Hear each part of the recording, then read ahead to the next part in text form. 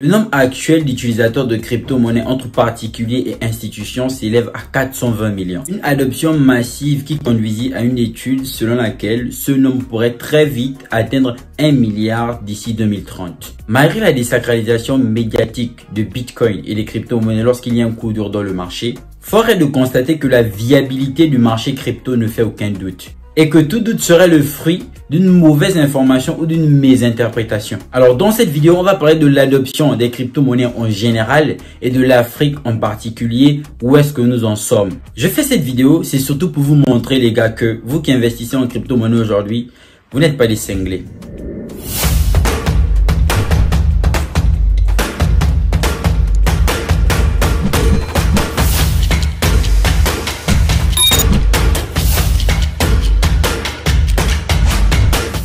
Bonjour à toutes et à tous, j'espère que vous allez bien. Bienvenue sur le Crypto si tu es nouveau. Ici, je te parle de crypto-monnaie, de révolution capote à blockchain de le secteur économique. Si la thématique t'intéresse, je t'invite à bien vouloir t'abonner en activant la cloche de notification pour ne rater aucune prochaine vidéo. Si tu veux approfondir tes connaissances en crypto-monnaie, je te propose la formation Will Crypto. Il te suffit de cliquer sur le lien en bas de la description pour avoir toutes les modalités d'acquisition. Tu peux participer à mes analyses, à certaines astuces, aux crypto-monnaies dans lesquelles j'investis pendant cette période de bear market en cliquant sur le lien en bas de la description pour t'inscrire au canal privé Telegram Will Crypto Stratégie. Enfin, tu peux rejoindre la communauté en cliquant sur le lien en bas de la description pour rejoindre le groupe public Telegram.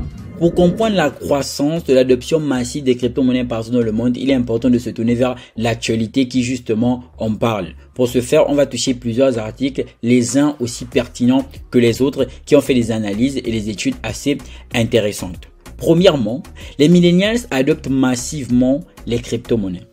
Avant même de continuer, comprenons que les millennials sont des personnes qui sont comprises entre 26 et 35 ans, en l'occurrence les adultes. Selon une étude récente réalisée par BitGet, 46% des millennials à travers les grandes économies mondiales possèdent des crypto-monnaies. Cela démontre une adoption croissante des actifs numériques par cette génération, reflétant un intérêt grandissant sur les nouvelles technologies financière. Une adoption massive des crypto-monnaies par les millennials. Alors que l'Inde se hisse sur le podium en tant que leader mondial des crypto-monnaies, on ne peut s'empêcher de se poser la question, la main sur le montant. Quel âge ont donc ces adeptes de cryptosphère qui propulsent cette révolution numérique? On va parler de la population crypto. Cette population crypto, elle est évolutive. Elle grandit au fur et à mesure que les années avancent. Aussi bien les particuliers que les institutions. Donc, dans cette évolutivité, cette population est diversifiée. On va retrouver plusieurs types d'investisseurs ou encore plusieurs générations dans un même écosystème. Bien évidemment, ceux qui auront plus de vigueur vont se faire ressentir plus que les autres. D'où l'intérêt carrément pratique de faire tout un article sur les millennials, comme vous pouvez le constater ici. L'étude menée entre juillet 2022 et janvier 2023 a interrogé environ 255 000 adultes de 26 pays dont les États-Unis, la Chine, le Japon, l'Allemagne, l'Indonésie et le Nigeria, pour revenir dans le cadre de l'Afrique.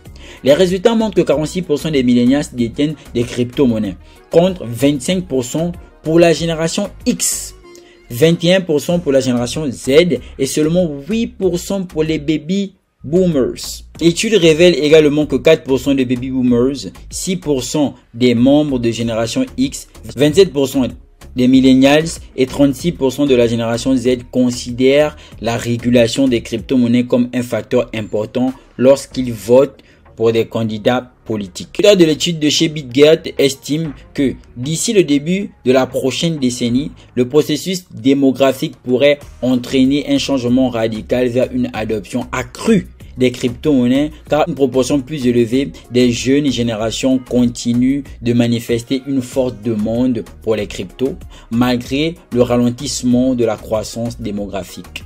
La vigilance s'impose. D'autres études confirment également que les générations Z et millennials ont les taux d'adoption des crypto-monnaies les plus élevés parmi tous les groupes de population. Comme vous pouvez le remarquer ici, génération Z et millennials, tout simplement potentiellement une partie très intéressante de l'étude, de l'analyse, de l'enquête, vu que L'enquête a par ailleurs montré que 43% des membres de la génération Z et 47% des millennials investissent déjà dans les crypto-monnaies en dehors de leur compte de retraite. Autrement dit, dans ces deux générations, il y a potentiellement des salariés qui, en dehors de préparer leur retraite dans des comptes d'épargne, sont potentiellement ou encore parallèlement en même temps en train d'investir dans le marché crypto.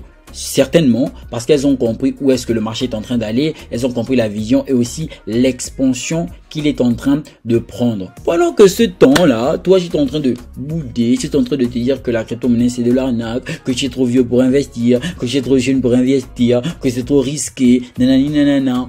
Et certainement, d'ici 5-10 ans, tu vas aussi pleurer comme les personnes qui aujourd'hui, après avoir entendu parler de Bitcoin il y a 5 ans, ont tout simplement dit que c'était de l'arnaque ou étaient réticentes à cause d'X ou Y raison. Pendant que d'autres sont en train de douter, d'autres saisissent éventuellement les opportunités. Et les gens qui ne saisissent pas les opportunités sont des personnes qui sont pleines de regrets et pleines de remords à l'avenir. Très malheureusement. Autre point très intéressant de la vidéo, accrochez-vous, ça peut aller très vite. Sondage Coinbase, 90% des institutionnels seraient plus confiants avec des règles claires. Coinbase a présenté un sondage dans lequel nous apprenons que 90% des institutionnels interrogés seraient plus confiants pour investir dans les crypto-monnaies avec une réglementation plus claire. Retour sur les résultats de cette étude. Il est mis en exergue ici la réglementation de marché crypto. Fort est de constater que plus il devient important, plus certaines personnes penseraient qu'il faudrait une réglementation. Beaucoup de pays aujourd'hui prennent pour cette réglementation telle que la France ou encore les États-Unis d'Amérique qui sont en train de mettre un dispositif visant à réguler le marché crypto. La régulation, toutefois, avec beaucoup d'objectivité, ne devrait pas uniquement être vu comme étant le moyen le plus pour les grandes institutions de mettre la main mise sur le marché crypto. Mais aussi, elle pourrait provenir de plusieurs mots. Car oui, si le marché avait été régulé, plusieurs mots n'auraient pas eu lieu, tels que l'affaire Terra Luna classique qui a fait perdre au marché crypto près de 60 milliards ou encore FTX qui a réellement été un fourre-tout ou encore une histoire vraiment digne d'un mauvais management et de vices dans le marché crypto. Fort est aussi de constater, justement, avec cette même objectivité, que les personnes dites régulateurs aujourd'hui n'auraient pas les compétences pour réguler le marché crypto. Car si des banques telles que la Silicon Valley font faillite, alors qu'elles sont régulées par des grands organes qui potentiellement auraient assez étudié l'économie, bref, vous savez ce que je veux dire. On pourra revenir sur le cadre de la réglementation un peu plus prochainement. Si vous le voulez, vous pourrez le mettre en commentaire de cette vidéo. Coinbase présente les résultats d'un sondage auprès des investisseurs institutionnels.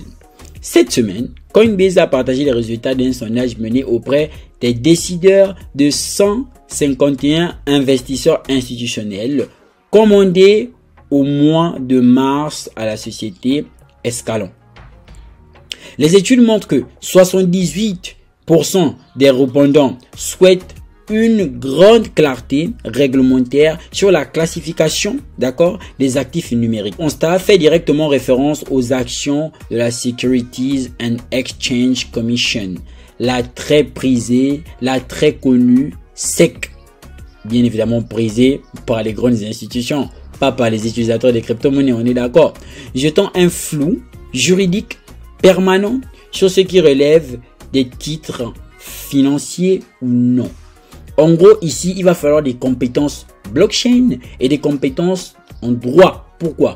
Parce qu'il va falloir mettre un droit qui prend en compte la migration de l'économie, qui prend en compte la migration de la monnaie, qui prend en compte la digitalisation, qui aujourd'hui là comprend les rouages de la blockchain pour prétendre déterminer si un actif serait un security, un utility etc. Allez, 71% souhaitent plus d'éclaircissement sur le traitement fiscal des crypto-monnaies et 71% sur les obligations relevant de la garde de celles-ci. De manière plus générale, près de 90% des sondés seraient plus confiants pour investir avec une réglementation claire. Il y a des personnes qui pensent justement que si le marché est réglementé, ce sera plus intéressant, il va attirer beaucoup plus d'investisseurs car on serait sûr qu'on ne mettrait pas l'argent uniquement dans n'importe quoi qui pourrait boom du jour au lendemain.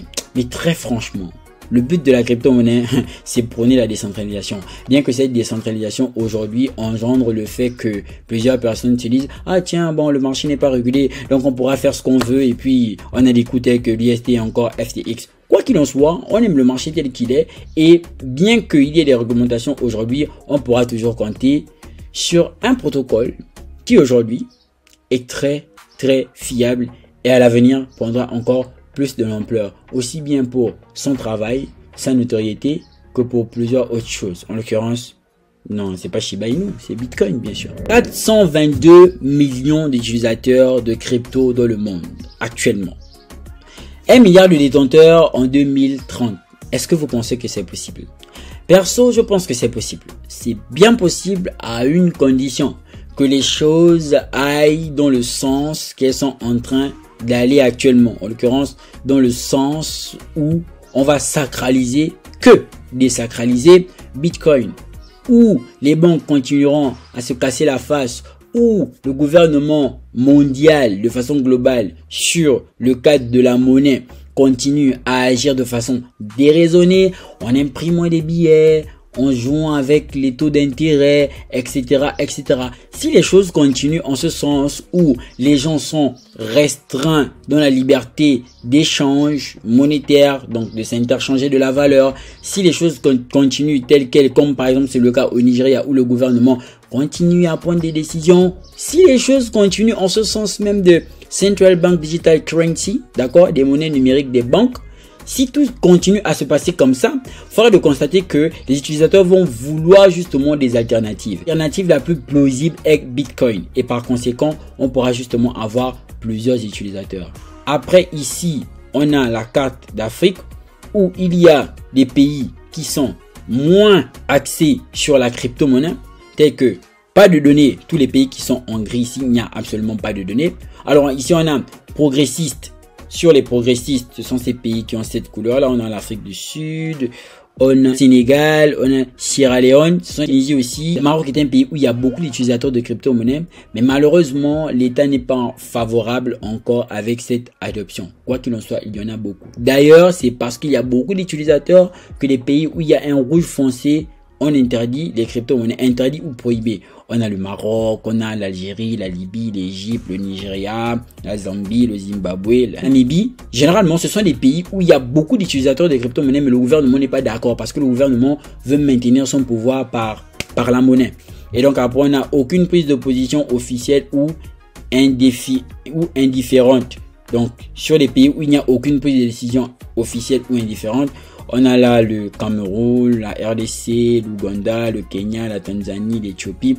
Quoi qu'il en soit, en Afrique, il y a encore une grande route à faire car pour la grande majorité, les crypto-monnaies, en plus de ne pas être comprises, sont tout simplement interdites. Pourquoi? Parce que le franc CFA, 14 pays, le franc CFA qui fait chier. Il y a pour d'autres pays le taux d'inflation, bref, l'Afrique a encore un grand chemin à faire. La question du jour est, et vous qu'en 2030, on aura 1 milliard d'utilisateurs de crypto-monnaies partout dans le monde.